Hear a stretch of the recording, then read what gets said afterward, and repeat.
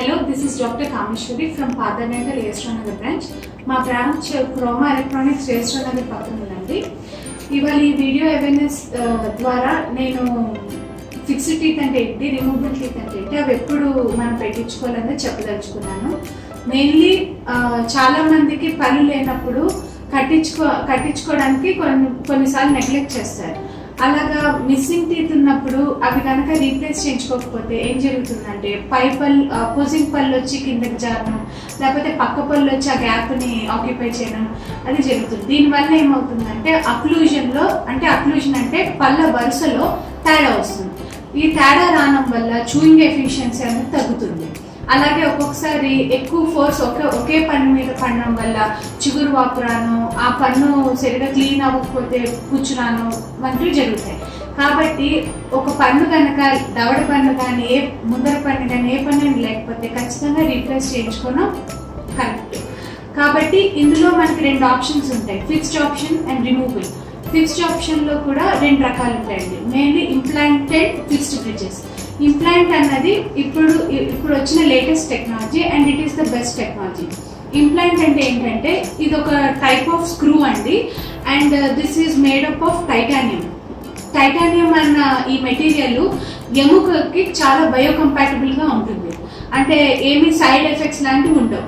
And uh, ఇది direct మన జా బోన్లో అంటే మన ఎముకలో పెడతామన్నమాట సర్జికల్గా ఇది ఎముకలో పెట్టడం వల్ల అచ్చు మన నేచురల్ టీత్ లాగే సపోర్ట్ ఇస్తుంది ఆ ప్రాసెసెస్ కానీ ఆ పన్నుకి కానీ పెట్టే పనికి కాబట్టి మనం బెస్ట్ ఆప్షన్ ఇంప్లాంట్ అండి. ఎందుకంటే సేమ్ మన నేచురల్ టీత్ ఎంతైతే ఫోర్స్ని బేర్ చేయగలదో ఇంచుమించు అలాంటి ఫోర్స్ని ఇంప్లాంట్ అనేది బేర్ చేయగలదు.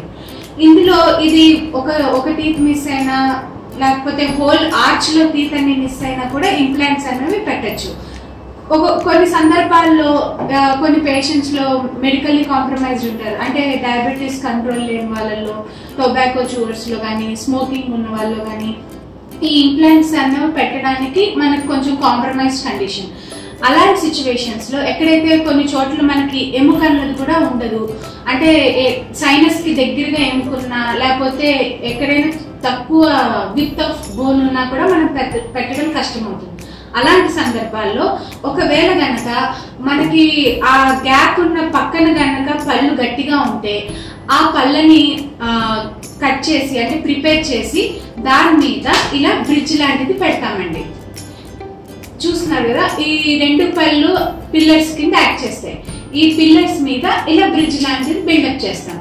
ఈ బ్రిడ్జ్ని సిమెంట్ ద్వారా ఈ పళ్ళ మీద ఫిక్స్ చేస్తాం అనమాట ఇది ఫిక్స్డ్ ఇది ఫిక్స్డ్ బ్రిడ్జ్ ఆప్షన్ అండి.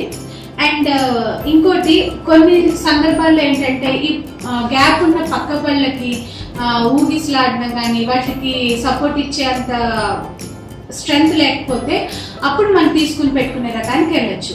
కాకపోతే తీసుకుని పెట్టుకునే రకంలో డిసడ్వాంటేజ్ ఏంటంటే మెయిన్లీ కొన్ని ఏళ్ళ తర్వాత అంటే యాజ్ ఏజ్ అడ్వాన్సెస్ ఏం జరుగుతుందంటే ఎముక కింద ఆ డెంచర్ కింద ఎముక అరిగిపోవడం ఏమైనా పుండు లాంటిది రావడం అప్పుడప్పుడు జరుగుతుంది.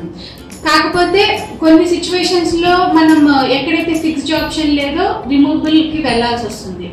అండ్ మెయిన్లీ uh, uh, ఒకవేళ బోన్ బాగుంది అండ్ ఏమీ హెల్త్ ఇష్యూస్ లేకుండా ఉంటే మాత్రం implant is the best option అండి.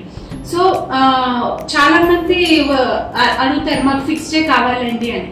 కానీ అన్ని సిచ్యువేషన్స్ లోనూ ఫిక్స్డ్ కుదరకపోవచ్చు.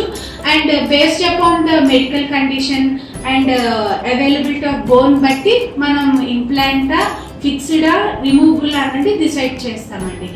మెయిన్లీ ద ఏదైనా సరే పన్ను లేకపోతే రీప్లేస్ చేయించుకోకపోతే మాత్రం చూయింగ్ ఎఫిషియన్స్ తగ్గడం దానివల్ల జీర్ణశక్తి తగ్గడం అండ్ uh, మనకి ఇండైజెషన్ ప్రాబ్లం అలాంటివి ఉంటాయి. మెయిన్లీ ముసలి వాళ్ళల్లో కూడా అన్ని పళ్ళు లేని వాళ్ళకి ఫిక్స్డ్గా ఇంప్లాంట్స్ పెట్టించుకుని అంటే ఇంప్లాంట్ సపోర్టెడ్ డెన్షన్ అంటారండి దాన్ని. అలా పెట్టించుకుంటే వాళ్ళకి నవ్వడానికి వీలుగా ఉంటుంది అండ్ uh, జీర్ణశక్తి కూడా పెరిగే chance so it's better uh, ఎప్పుడైనా మీకు పన్ను లేకపోతే రీప్లేస్ చేయించుకుని మీ డెంటిస్ట్ని కన్సల్ట్ చేస్తే సేఫ్ అండి. Okay thank you